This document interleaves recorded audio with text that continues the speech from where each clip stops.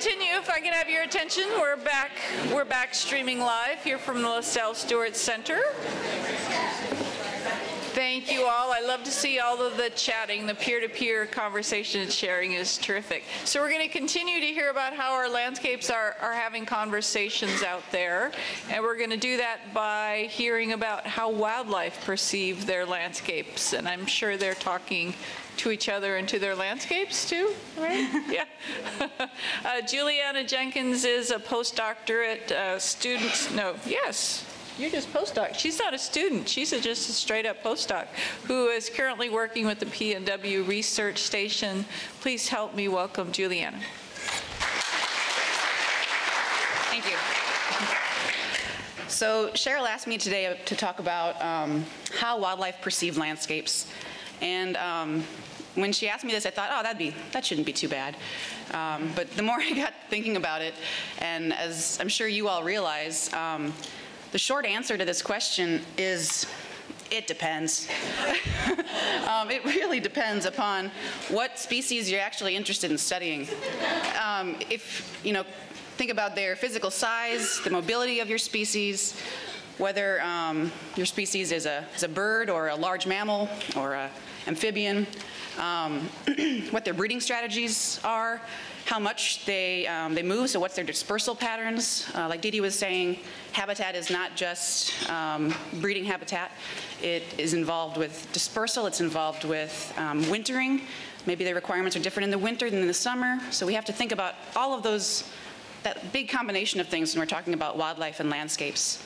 Um, so my research specialty is um, quantitative uh, wildlife population monitoring and, um, and modeling, and identifying what vegetation conditions are most closely associated with, um, with a certain species in a particular time period. So it's a really fine scale um, modeling that I like to do. But for today, I thought I would instead um, talk about kind of a, or give an overview of a basic Wildlife 101. Let's go back to college and just make sure we're starting on the same page, okay? Little, little lightness here after our break uh, to get us warmed up for really intense conversations later. Um, let's see if I can figure out this guy. So that being said, um, oops, that's backwards, here's forwards. So I'm going to talk about three key considerations when managing wildlife on a landscape scale. And again, I'm going to talk a lot about, I'm going to be speaking mostly in generalities um, and just be, be aware of that. There are specifics um, considerations for individual species, and we all know that. So since we have such diverse representation here, we're gonna just stick with the basics for right now. Um, so we're gonna talk about the importance of, of identifying scales of interest for your particular species, um, then identifying their habitat requirements and limiting factors um, necessary to that species. And then also we're gonna talk about effects of fragmentation and edge and what considerations you need to think about um, for your individual species. So just to start out with here, um, first consideration, um, really have to ask the question of at what scale does your species operate? To understand how our management of the environment affects them, we need to identify, identify not just spatial scales and not just our anthropomorphic scale. Um, we, we typically consider land management actions as humans, right? Um, but uh, a clear cut is not going to look the same to, say, a snail whose whole life, um, life experience might be a couple weeks long over a, a couple square um, meters compared to that of a, um, of a very um, mobile animal such as a migratory bird who might utilize a vast range of resources and different cover patches, um, utilize a lot of heterogeneity in their habitat. Um, so these are, that's the first primary consideration we're going to think about in wildlife uh, management. Uh, so just an example of some species that, this is a, a species, a spotted skunk, that is a very small animal. It's um, you know smaller than a cat. It's, uh, we have a, a, graduate student, Marie Tosa, um, who's done a radiotelemetry study on these skunks in the H.J. Andrews experimental forest over the last three years. She just wrapped up her fieldwork. Um, and she's found that these animals actually tra traverse, for such a small animal, they move huge distances within their annual um, within their home range. So that they can have home ranges upwards of 2,000 hectares. This is bigger home ranges than a spotted owl. Um, so just keep in mind that even sometimes our assumptions of what, what space animals need are kind of flawed. Uh, counter that, this big, this small animal with a huge range, compare that to, say, a red tree vole and their um, scale of experience. Uh, red tree voles are really um, spend their entire life within um, 50 to 200 meters of where they're born.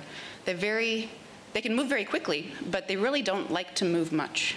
Um, their primary food source is the, are the, um, the resin ducts within fir needles. So they spend the majority of their time uh, moving between uh, two to four trees. Um, the really important components for them are the interconnectivity of branches within that area.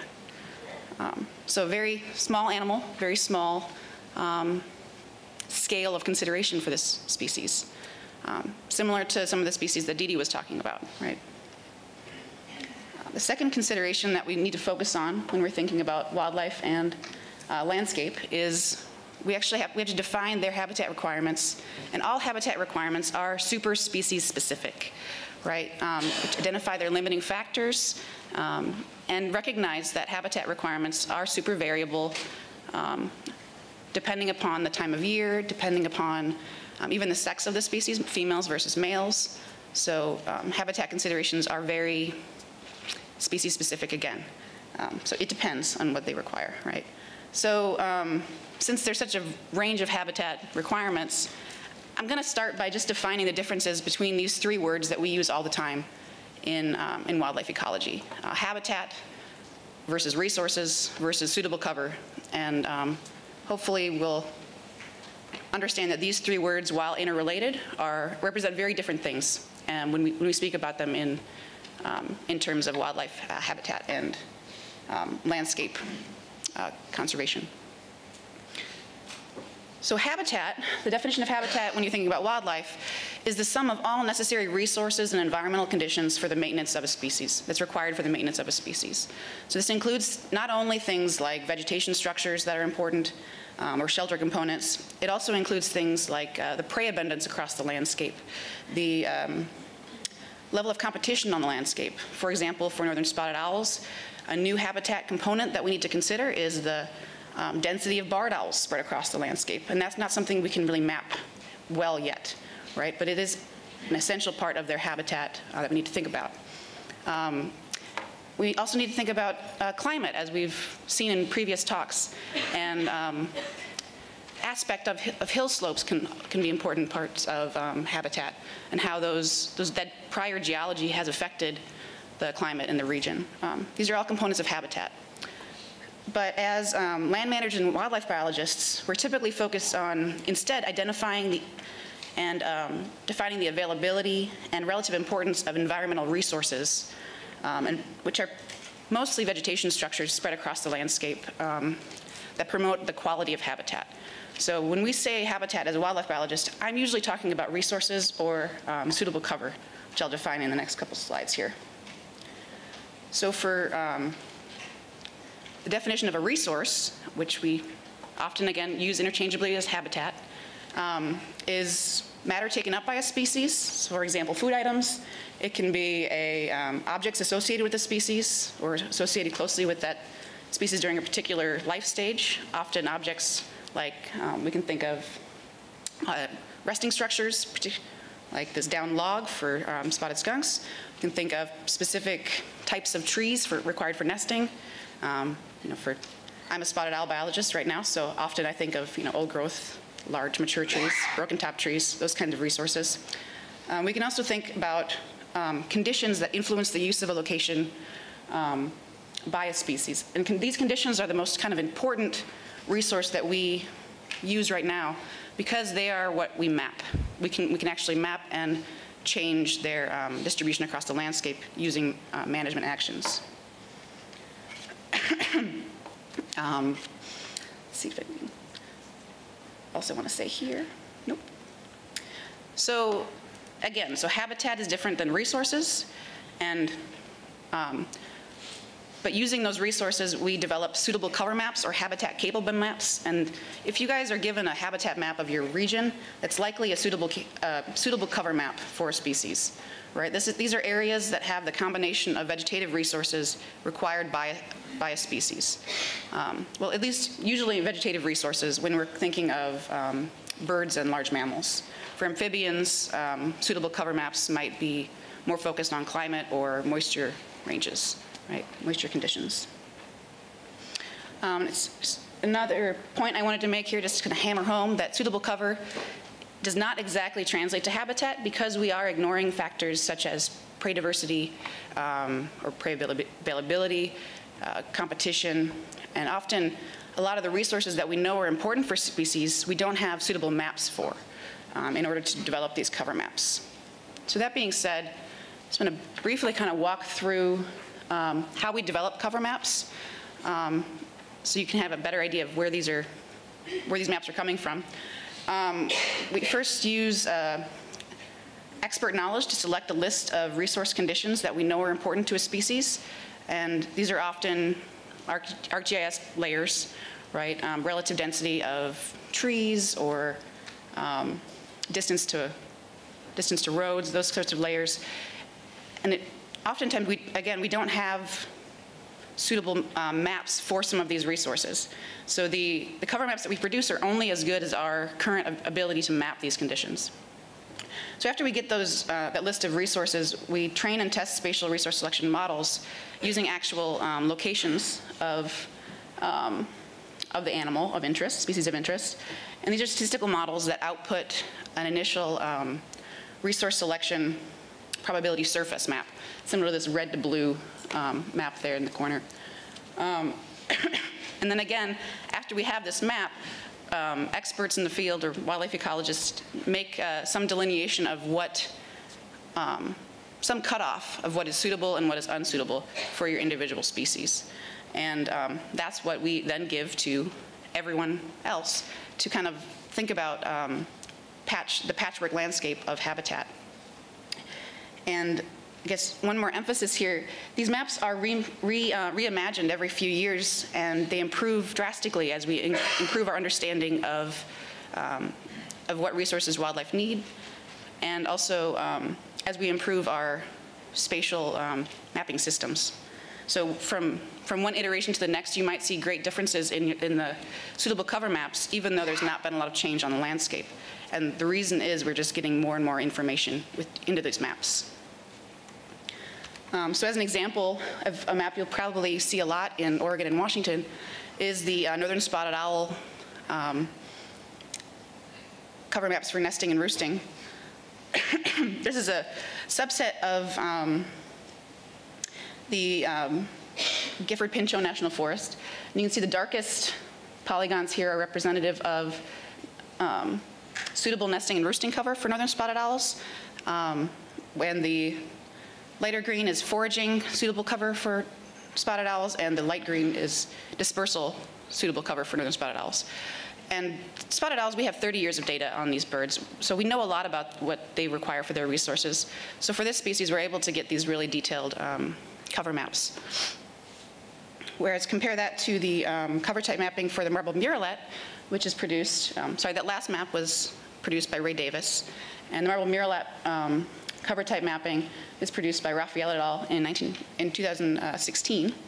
So one difference between marbled murrelets and northern spotted owl cover type maps is that marbled murrelets, since they spend so much of their lifetime in the sea, and they actually, you know, they fly and forage um, every day to the ocean and back to their nest sites. Um, one of the major resources we consider when developing these maps is actually a suitable commute distance to the ocean. So resource conditions, um, what, what you define a resource is really variable depending upon that species. So distance to ocean is a significant resource for marbled murrelet, where it's not so significant for other species. Um, All right, so a final, finally, consideration number three, which I wanted to talk about, is um, when planning, when planning management actions, we need to consider how our actions will contribute to the fragmentation of cover and the amount of edge conditions present at the landscape scale.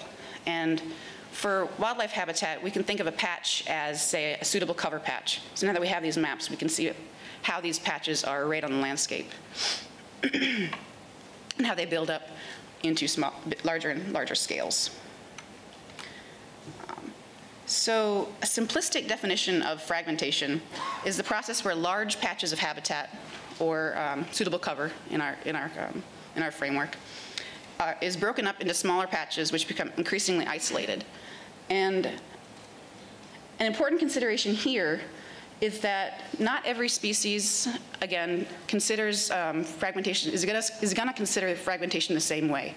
Um, to us, so if we look at these two maps at the bottom here, on the, on the left is a typical kind of O&C landscape where you have a clear-cut square next to a, or, um, a preserved square, mature forest.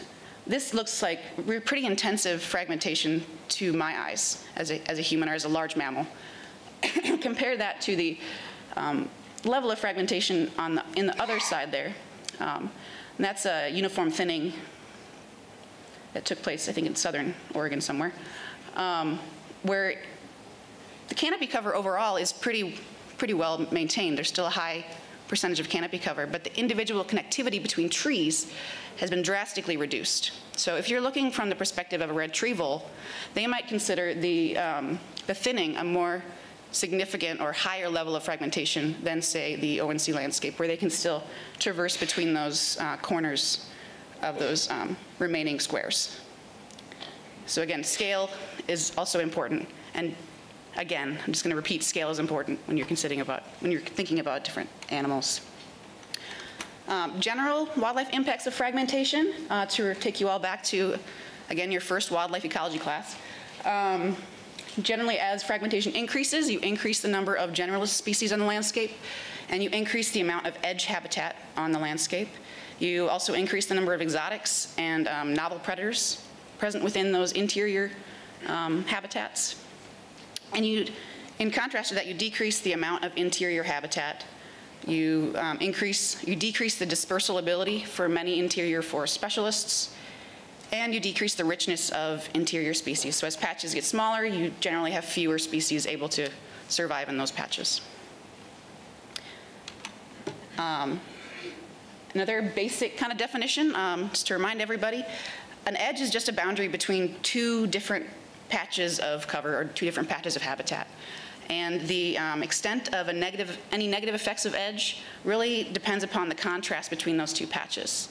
If we look at this edge boundary here between, say, an old growth patch of forest um, and a regenerating mature uh, forest patch, the differences, at least to our eyes, are not very significant. So we can expect potentially smaller effects here compared to um, this situation where we have an old growth patch directly next to a recent harvest patch, um, where the um, the extent of, say, drying into the old growth forest will be much longer, much larger. Um, some of these negative effects um, include a change in biotic conditions within a certain distance of that edge, so a loss of moisture, you can have an increase in blowdowns, um, just able to get more weather kind of into that patch.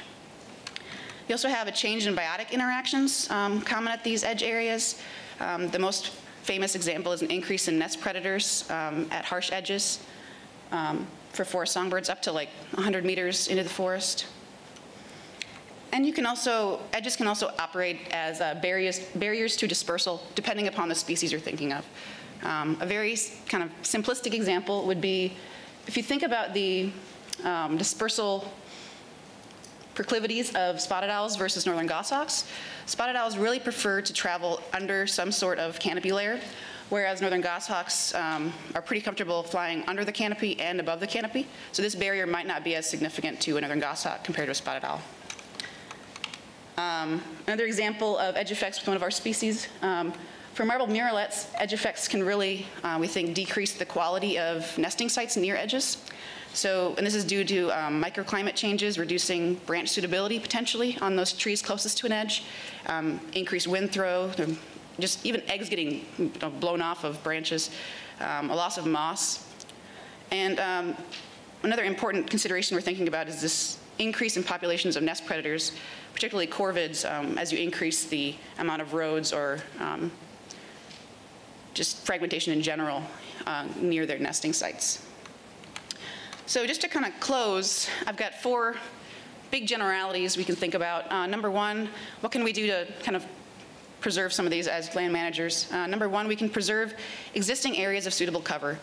And we should do this strategically, thinking about landscape, overall landscape context, as Dee and um, others before me have talked about, but it's important to consider that a lot of these, for a lot of these animals, metapopulation dynamics are a legitimate process, and um, even if you don't find an animal on a certain patch of suitable cover this year, doesn't mean that it won't be recolonized in the next year.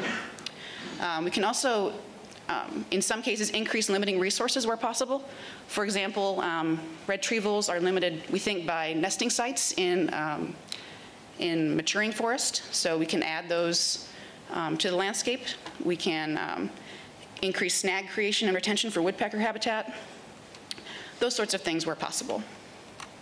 Uh, We can also promote corridors and connectivity between habitat patches, as you've heard a lot of today already um, from Dee Dee and others. Um, And what connectivity looks like for different species varies, but generally to, the more connectivity you can put on the landscape, the more species can take advantage of it, is kind of a a basic rule. And finally, we can strategically design treatments to minimize um, edge effects within interior forest areas. Um, So round or square has, has less edge area compared to a kind of amorphous-shaped treatment. Um, But again, this also depends upon, this is a simplistic representation. It's going to also depend upon the topography of your area and other considerations. Um, But with that, I think that's all I have. So very basic review of Wildlife 101, so thank you.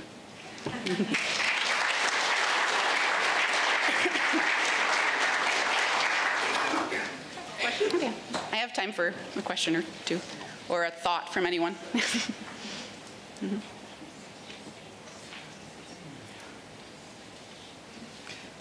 I have a question for you. Yeah. I'm allowed.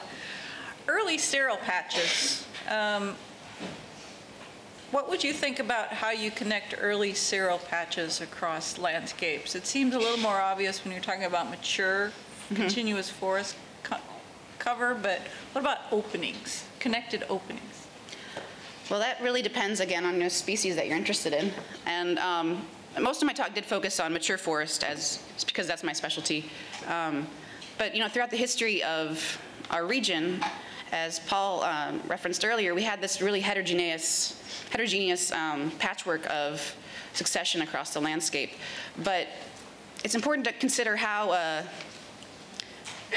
how differently anthropogenic um, changes in the landscape um, form succession kind of trends compared to, uh, to natural disturbances like fire. Um, so really, I don't have a great answer for you, Cheryl. Um, just think about the, the historical landscapes your individual species was kind of came about in. Um, and for a lot of early successional species, that would be riparian areas, that would be um, recent clear cuts, or not clear cuts, um, uh, fires regenerating, and how those were spread across the landscape. So thinking about Paul's talk would probably be the most useful, and how those historic distributions of early succession was kind of spread in the landscape Okay. in that regard.